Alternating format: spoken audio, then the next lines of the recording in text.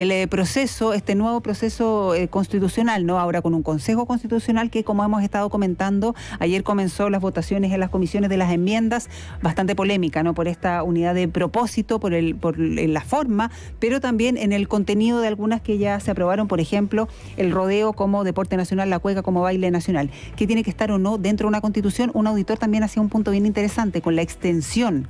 ¿Cuán larga es el texto? También. Bueno, vamos a hablar acerca de esto y sus alrededores con el profesor de Derecho Administrativo y Constitucional de la Universidad de los Andes y es doctor en Derecho de la Universidad de Cambridge. el profesor Jaime Arancibia está en línea. ¿Qué tal, Jaime? ¿Cómo está? Hola, buenos días. Hola.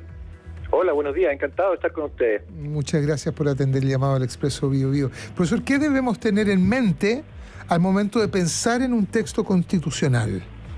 Que, no podemos perder de vista. Lo, lo, que no hay que perder de vista es que históricamente las constituciones existen para poner límites al ejercicio del resto de los poderes del Estado, incluyendo el legislador. O sea, usted tiene que pensar, cuando elabora una constitución, se tiene que hacer la siguiente pregunta. ¿Qué tipo de cosas yo necesito resguardar, incluso ante el evento de que el Congreso tenga mayoría para regularlo? Cosas que yo, bajo ningún punto de vista, estaría dispuesto a que a que ocurriera. Ese tipo de cosas tienen que estar en la Constitución. Voy a poner un ejemplo. Supongamos que el Congreso, por una, por una mayoría 50% más uno, quiere legitimar la tortura eh, de enemigos políticos, por así decirlo. Mm. Entonces uno dice, oye, ¿tú estarías dispuesto que si el Congreso por una mayoría eh, lo aprueba sería algo bueno? Entonces no, ese tipo, uno dice, no, yo creo que bajo ningún punto de vista, aunque tuviesen eh, todos los votos del mundo, ese tipo de cosas yo creo que no corresponde eh, que lo haga el legislador y por lo tanto el encargado de ponerle ese límite es la Constitución a través de un quórum mayor. Ya. Pucha, y eso pasa, perdón, con la mayoría de los derechos fundamentales. Ajá, por lo tanto, eh, eh, esa es, ese es el sentido precisamente de preguntarse por aquellas, por, aquello que es de la naturaleza, más allá de cualquier tipo de convención. Correcto. Ya. Aquellas cosas que generar un alto consenso de que no pueden ser tocadas, ni siquiera por el legislador democrático. Derechos fundamentales. Luego, si uno quiere hacer un catálogo de derechos fundamentales, bueno, ahí habrá una discusión, algunos quedarán dentro, quedarán fuera. ¿No? Correcto. y, y, ahí eso, efectivamente, uno hace un catálogo, pero aquí viene lo otro importante de una constitución, y es que no hay catálogo que resista si es que uno tiene un régimen político en que ninguno de los poderes pueda, en buen chileno, arrancarse con los tarros. Y por eso que es tan importante un principio de separación de poderes. Porque fíjense ustedes que en los países del mundo donde más se violan los derechos humanos, coincide que tienen la mayor cantidad de derechos consagrados en sus catálogos. Pero el problema ahí que falla es precisamente que no tienen un régimen político sano. Profesor, y en ese sentido, ¿cuán explícito tiene que ser? Porque una cosa, claro, son los fundamentos o el espíritu, ¿no? Una constitución, justamente como usted bien dice, para resguardar todo el, tema eh, de, los poderes, en fin. Pero tiene que ser todo explícito porque uno dice, claro, eh, o queda muy ambiguo, o queda muy largo, o eh, quedan otros temas después para materia de ley, pero siempre basados en lo que dice la Constitución, en términos de forma, porque claro, acá uno dice, eh, echa la ley, echa la trampa, pero claro, echa la Constitución también hay algo que como no lo dice explícitamente, podemos normar de, este, de esta otra manera. Sí, muy buena pregunta. Yo diría, eh, los grados de, por así decirlo, de, el carácter explícito, más o menos explícito de las normas constitucionales, tiene directa relación con la historia constitucional de cada país. Porque en el fondo, eh, mientras más eh, debilidades tiene el país, cada cultura, cada país, cada sociedad, tiene sus propias debilidades idiosincráticas, por así decirlo. Entonces, mientras mayores debilidades o caídas hemos tenido con respecto a, determinadas materias en el pasado, mayor explícita tiene que ser la constitución a la hora de actualizarse. Entonces, cuando uno mira las constituciones del mundo, en el fondo todas tienen más o menos los mismos elementos, pero la extensión o, lo más explícito o menos explícito varía porque se van actualizando capa por capa de acuerdo a las experiencias dolorosas del pasado. Una buena constitución es aquella que permite explicar a través de sus normas la historia del país. Claro, y en ese sentido va a depender de cada país, evidentemente. Correcto. Mm. Entonces uno se dice, bueno, ¿por qué el, el, el, derecho de propiedad, por ejemplo, es tan extenso en el derecho constitucional chileno? Bueno, quizás porque experiencias del pasado no fue tan respetado como se hubiese esperado. ¿Por qué el Poder Judicial se tuvo que incluir una cláusula para permitir que los tribunales pudiesen dar órdenes directas a la fuerza pública, porque en el pasado los fallos no se podían ejecutar y así suma, suma y sigue. Eh, ese, ese es el sentido de una constitución que se va actualizando eh, cada vez que se actualiza, pero que no se pierde la esencia y el ADN de lo que hemos sido. Profesor, eh, hablamos de catálogo de derechos, eso es habitual hacerlo, pero aquí lo hemos mencionado, de hecho, a propósito de las enmiendas que se están votando en el Consejo. Y eh, ahí hay un deber, eh, se está consagrando un deber, el de honrar a la patria. ¿E-, ¿Eso es común en un texto constitucional? Sí, o sea, yo diría, no, en eh, algunas constituciones está, en otros no está. Yo diría que en el caso nuestro, la tradición constitucional chilena ha incluido desde ya antiguo el deber de honrar los símbolos patrios. Eh, y por lo tanto, es también, eh, yo diría que últimamente que se habla tanto de derechos, al menos yo considero sano poder ser un poquito más preciso en los deberes, porque fíjese usted que el carácter de ciudadano, eh, lo primero lo primero que hay que destacar para un ciudadano no solamente lo que él puede exigir, sino que también aquellos deberes de civilidad, de ciudadanía que corresponden para el bien común. Y eso supone también respetar eh, intereses públicos que nos unen. Cuando usted se refiere a la historia del constitucionalismo chileno, ¿desde dónde empezaría el constitucionalismo chileno? ¿Desde el reglamento constitucional?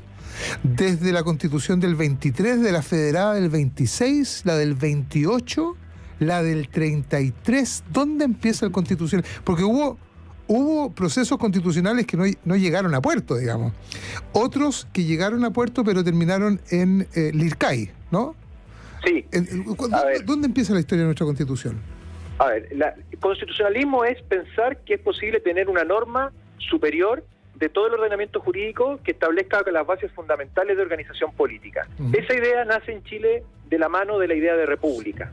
O sea, uno ve que tan pronto nos independizamos de España y a la par con España ya eh, empezamos a pensar en tener constituciones que nos rijan. De hecho, España, incluso siendo un poco monárquica, tiene la constitución de 1812 en Cádiz, algunas de cuyas disposiciones se reproducen en los primeros textos constitucionales nuestros. Luego, esa norma que impulsa el constitucionalismo es una fotografía de la conciencia jurídica de un pueblo o un dibujo. Lo que pasa es que hay dibujos o fotografías más eh, fieles o más nítidas a la realidad o más ajenas a la realidad. Y yo diría que Chile trató de ir haciendo sus primeros experimentos constitucionales, muchos de ellos con normas bastante teóricas que no se adecuaban al querer o al sentir jurídico del pueblo. Y yo diría que el primer ejercicio que ya funcionó, eh, naturalmente perfectible, es la Constitución de 1833, cuyas disposiciones en gran parte rigen hasta el día de hoy. Profesor, varios nos están preguntando a propósito de lo que comentábamos de, del, honrar a la patria, los símbolos, en fin, esto que ha llamado tanto la atención en las últimas horas que quede la Constitución, ¿no? Por ejemplo, el rodeo como deporte nacional, o por ejemplo la cueca como el baile nacional. ¿Eso son materias de Constitución? La verdad es que eh, uno, los símbolos patrios históricamente han sido la bandera, el himno, el escudo. Uno podría también hacer otro tipo de declaraciones, pero yo diría que ese tipo de declaraciones, sobre todo pensando el, más que en la cueca en el rodeo, eh, tienen que ser declaraciones, eh, yo al menos en, materia de emblemas nacionales o de símbolos patrios, es donde yo más unanimidad, no de unanimidad, pero el más grado o el más alto grado de consenso exigiría, por así decirlo. Porque en el fondo, eh, si hay algo, los emblemas patrios tienen que representarnos a todos por una gran, gran y amplia mayoría. Por lo tanto, se tiene que tratar de emblemas que no, no sean indiscutidos para todos. Eh, si en el caso del rodeo ha generado algo de ruido, no obstante tiene la validación democrática de la decisión que se toma al interior del Consejo, puede ser que a lo mejor hay algo de adhesión que, que esté como en entredicho. Claro, pero ya está generando bastante polémica. Eh, profesor también nos pregunta por el tema de la extensión, que yo recordábamos también que fue tema, ¿no? Para el fallido proceso anterior de la convención. Em, mirando las otras constituciones, o usted como especialista, em, ¿sería mejor una constitución más extensa? ¿No tiene que ver con el contenido? ¿Qué pasa con, la, con, la extensión justamente del texto? Sí, yo siempre he sido un crítico de las constituciones extensas. Eh, hay estudios de la OCDE que dicen que mientras más palabras tiene una constitución, más pobre y corrupto es el país. Yo creo que eh, estamos eh, con el riesgo de tener una constitución extensa. Hoy en día Chile, la tabla de países de la OECD está en la mitad con respecto a la extensión de su constitución. Si uno mira el anteproyecto de la Comisión Experta y suma las, las, palabras que se estarían sumando con las enmiendas que introduce el Consejo, la verdad es que quedaríamos bastante más abajo en la tabla. Y por lo tanto, yo creo que es necesario, al final de este proceso, así lo he sugerido, ojalá, poder tomar a un grupo de representantes de cada una de las bancadas y decirles, sin tocar los acuerdos del Consejo, ojalá puedan tener una constitución que no supere las 40.000, las 50.000 palabras. Si, si estamos en 70.000 o en 80.000, bueno, el esfuerzo será eh, lograr decir lo mismo, pero en menos palabras, como cuando uno enfrenta las restricciones editoriales en una columna en el diario, que uno dice, bueno, tienes que acortarla, pero ¿cómo lo hago?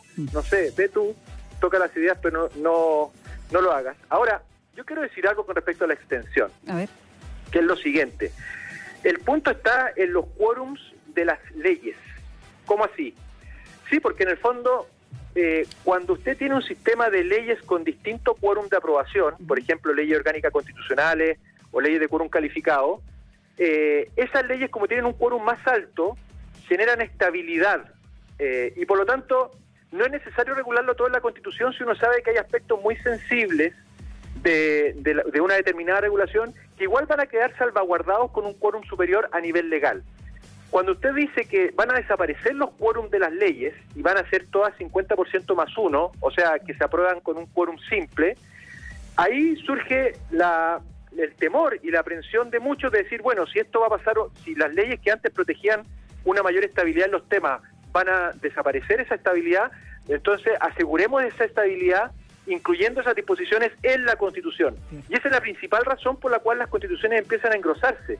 Por lo tanto, yo al menos soy partidario de no tener temor a leyes que tengan distinto quórum, incluso un quórum más alto, precisamente para asegurar estabilidad por una vía alternativa, sin tener necesidad de estar incluyendo materias de ley en el texto constitucional.